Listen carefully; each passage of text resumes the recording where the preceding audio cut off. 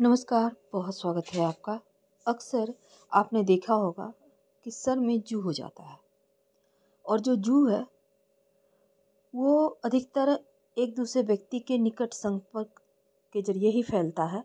अगर किसी व्यक्ति के सर में जू है, आप अगर उनके साथ भी बैठ जाए ना तो आपके सर में आ ही जाएगा।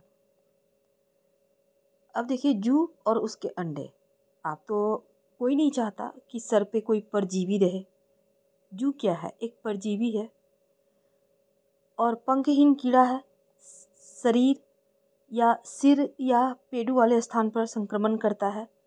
कपड़े या फिर आप कोई भी किसी की कोई वस्तु यूज़ करते हैं तो उसके ज़रिए आसानी से आप तक वो आ सकता है।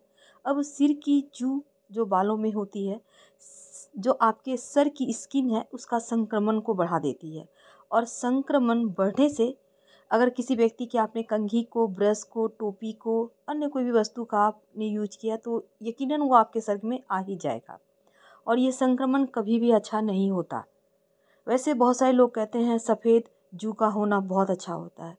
कैसे अच्छा हो सकता है? शरीर में कोई कीड़ा है बैठा हुआ, वो अच्छा हो ही नहीं सकता।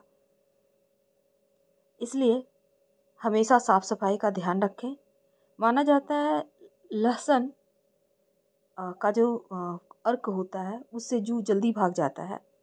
और ऐसे लोगों से ज़रा दूर ही रहें, जिनके सर में जू है। दूरियाँ बना कर रखें, वरना वो आपके भी शरीर में आ जाएगा।